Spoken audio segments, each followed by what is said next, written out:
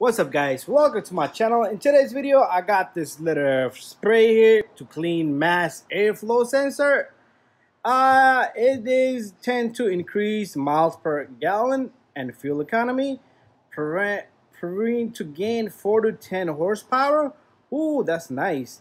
Improve air fuel ratio. Okay, that is very important, air to fuel ratio.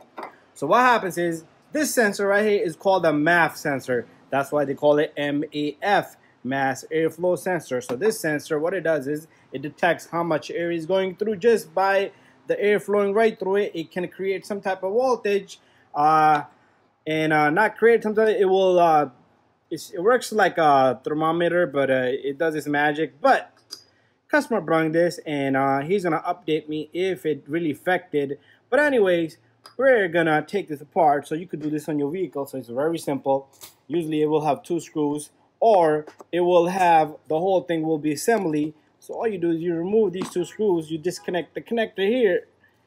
Okay. Come on. Once this connector come off you're gonna take off this screw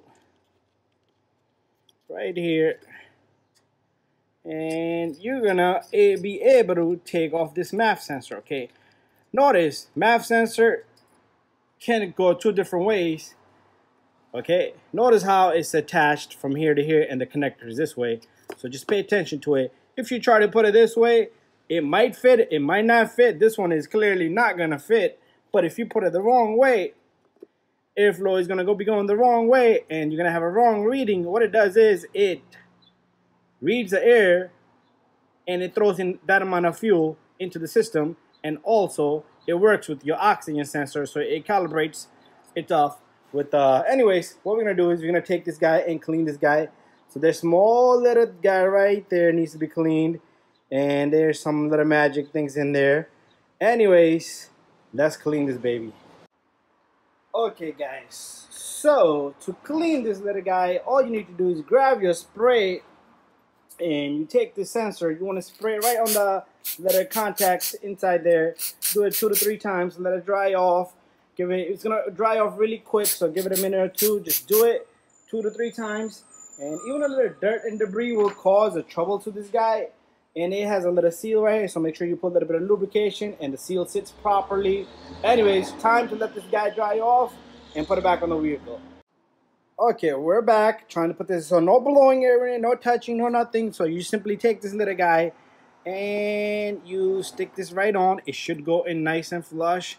If your seal is lubricated nice and good, you take your little screws.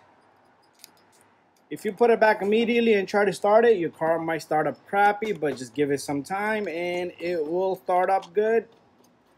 And that's it. Bada bing, bada boom, we're all done.